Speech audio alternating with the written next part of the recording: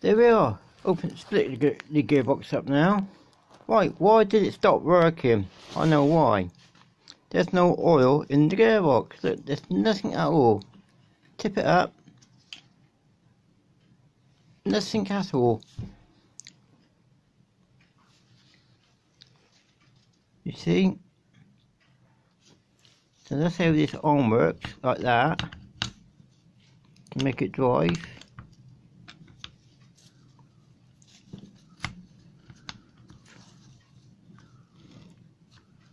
In fact, I can actually take that um, bit out. That right.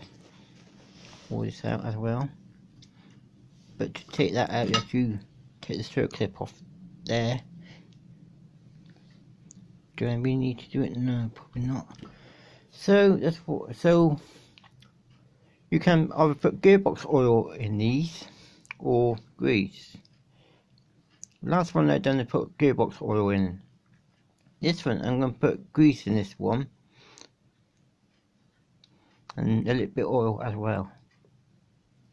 So that's what it looks like inside the HR 194 and HR 1950 and this other gearbox is like this as well and the 21 inch or 20 inch they're done so so anyway thanks for watching bye